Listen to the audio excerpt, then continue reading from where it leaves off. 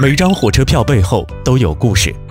新中国成立后，第一代车票硬纸板制作，印有盲文，红车票代表一般火车，白车票代表慢车，绿车票代表城际火车。售票员根据旅客要求，在车票上印日期、地点。上世纪八十年代，深圳火车站率先计算机售票，发售软纸式火车票。一九九七年，统一计算机车票式样，现场打印车票。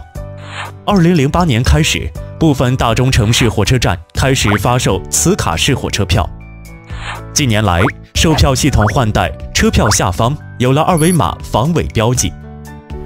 二零一零年春运，广铁集团成都局试行车票实名制。二零一二年元旦起，所有旅客列车实行了这一制度。乘客买票坐车要登记，核查个人真实姓名和身份。现在，中国铁路全面实施电子客票，旅客可直接刷身份证或出示二维码进站检票乘车。纸质车票退出历史舞台。车票的变化表明中国铁路的跨越前进。全国铁路经过六次大提速，随着幺二三零六在内的全国铁路客票系统的研发和运维工作，最大可能的满足人们的出行。春运时，为了保证系统稳定运行，幺二三零六使用了两个公有云，实现双云互备保障。